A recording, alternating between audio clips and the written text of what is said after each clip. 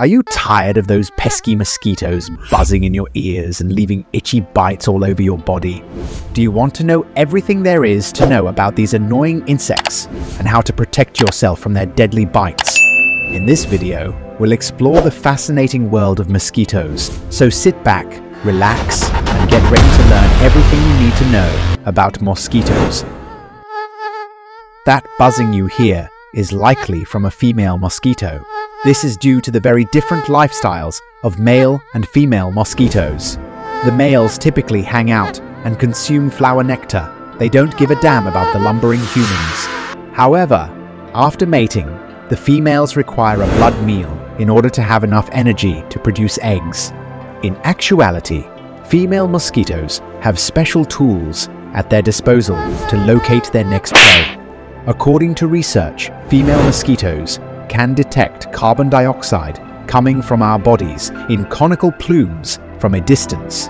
The female mosquito is stimulated by the carbon dioxide to begin host, seeking, flying back and forth to trace the gradient of concentration back to the source. In other words, mosquitoes swarm around our heads because our carbon dioxide emissions are highest there. Anopheles quadrimaculatus a female mosquito prefers to bite people with type O blood over those with types A or B. In addition, larger people tend to emit more carbon dioxide, which attracts mosquitoes and makes them more vulnerable to mosquito bites. Exercise and alcohol consumption both speed up metabolic rate, which makes people more alluring to mosquitoes. Due to their higher body temperatures, increased carbon dioxide production, or increased exhalation. Pregnant women also attract more mosquitoes. Mosquitoes prefer to bite people who are sweating because the lactic acid in sweat is one of their favorite foods. Additionally, they are drawn to the distinctive body odor that humans emit as a result of a combination of microbes and chemicals. This explains why the majority of individuals get bitten, while those nearby do not. Mosquitoes bite in a variety of ways. Although there is no scientific evidence to support the existence of werewolves and zombies, you can definitely attribute a number of strange occurrences, real or imagined. The nighttime activity of mosquitoes can increase by 500% during a full moon when they become more active.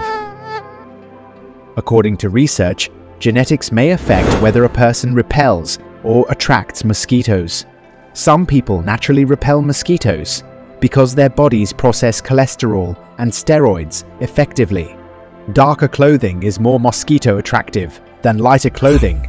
Wear long sleeves and use mosquito repellent with DEET. Remember that mosquitoes can lay hundreds of eggs at a time and only need a full spoon of water to reproduce. As a result, even tiny sources of water can cause significant problems. Eliminate any standing water near your house, because this is where mosquitoes thrive. If you want to keep mosquitoes out, think about adding screens to your windows and doors.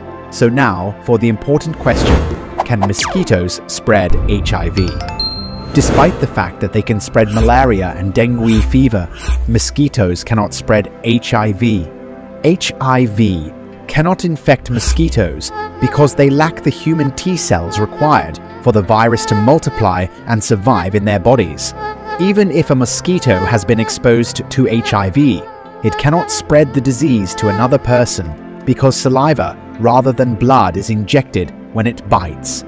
HIV can only be passed from one person to another if a mosquito is able to carry enough of the virus.